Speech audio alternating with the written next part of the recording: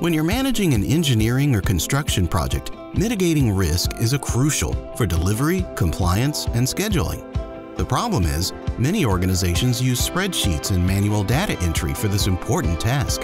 Locking in critical data into disconnected spreadsheets where only one or two specialists can access it means you don't have that data when you need it most during the day-to-day conversations where you win buy-in from your project team. There's also more chance that something important gets missed. And no way to quickly tell if that risk data is up to date with the current state of the project. But what if risk management was everybody's job, from the project owner in the office to every subcontractor on the delivery team? Oracle Primavera Cloud Service puts your risk register right at the heart of your project, and it connects to the schedule that everyone's already using, so it's always a live reflection of what's happening in the real world and easy to collaborate and share. Oracle Primavera supports the typical project risk management processes you use today.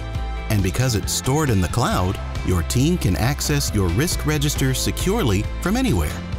Quick access to all risk data from your past projects makes it simple to accurately determine the probability and likely impact of risks on your projects.